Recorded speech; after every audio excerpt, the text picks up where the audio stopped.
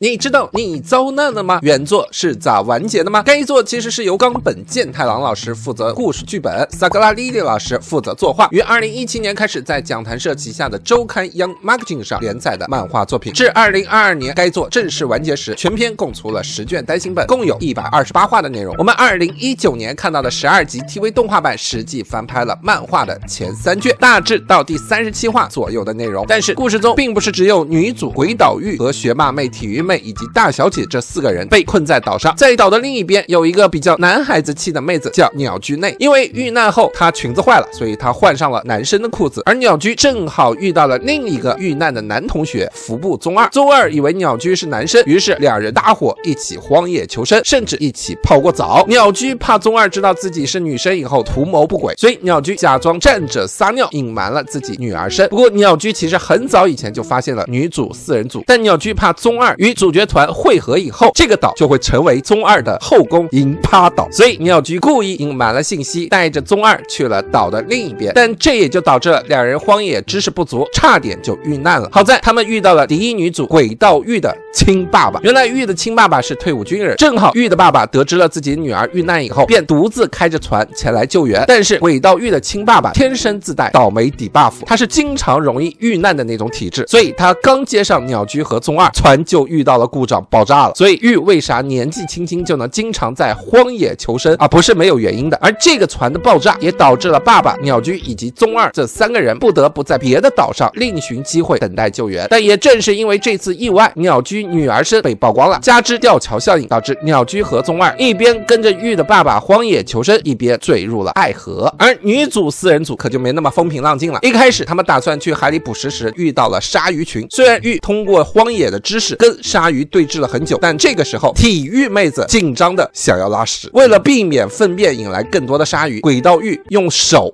帮体育妹子接屎，最后玉用屎引开了鲨鱼，主角团这才度过了危机。后来小岛上来了一场大风，把主角团临时做的家给吹翻了。为了求生，鬼道玉带着其他妹子在森林里挖了一个坑，正准备避难时，一阵大风刮来，一棵巨树倒塌，把玉给活埋了。得亏主角团里面有一个学霸妹子，靠着学霸妹子的物理知识，其他三人协力，最终还是顺利的把玉给救了出来。经过一次次危机之后，主角团等人变得越发团结，物资也变得越来越丰富。这时候，鬼道玉反而觉得岛上的生活要比在学校里面被同学孤立的生活要好很多。但经过心理斗争之后，鬼道玉还是向三个妹子宣布，他决定要离开这个岛。其他三个妹子当时就哭了，因为他们仨以为鬼道玉说这话是要把他们丢在这里，自己逃走了。等误会解除以后，主角团齐心协力做了一艘大船，准备了很多物资，开始了海上漂流之旅，寻找归家之路。结果刚漂流没多久，就遇到了海上垃圾和巨浪的冲击，一下子把鬼道。玉给冲跑了，得亏有学霸妹子在，在学霸妹子的化学知识的帮助下，剩下的三个人将船停靠在了附近的岛上，并制作了烟花发射到了天空，希望求生知识丰富的鬼道玉能够顺着烟花找过来。然后三个人的烟花直接把这个岛都给烧光了。好在鬼道玉命硬，竟然硬是靠着吃海鱼、喝海鸥的血补充了体力，顺着烟花游到了三个妹子的船附近，最终被三个妹子救上了船，保住了小命。随后没过多久，主角团四人的小船在海。上漂流，正好遇到了鬼道玉爸爸的逃生小船，于是，一行七个人最后汇合分配了物资。没过多久，他们就被日本海上巡逻队找到，逃离了大海，回到了日本。回去以后，大家很快就融入到了自己的学校生活。鸟居和宗二也正式的成为了学生情侣。不过，鬼道玉却非常不习惯文明社会的生活，所以在学校他依旧孤僻，不善交流。好在这一次荒岛求生，鬼道玉交上了大小姐、学霸妹、体育妹这些好闺蜜。最终，在这些好闺蜜的协助之下，鬼道玉逐渐适适应。了和平的正常生活，甚至在学校还交上了新的朋友。一年之后，大小姐的家里人买了一个无人岛，于是大小姐请来了主角四人，再加上鬼道玉的爸爸鸟居宗二，以及鬼道玉在学校交的新朋友，一行八个人一起去了这座私人的无人岛玩。然后鬼道玉爸爸的倒霉底 buff 发动，导致船又出了问题，没法开了。一行人就被迫的又开始了在这座岛上荒野求生的生活。不过这一次大家都有了经验，显得从容不迫，甚至还有些享受其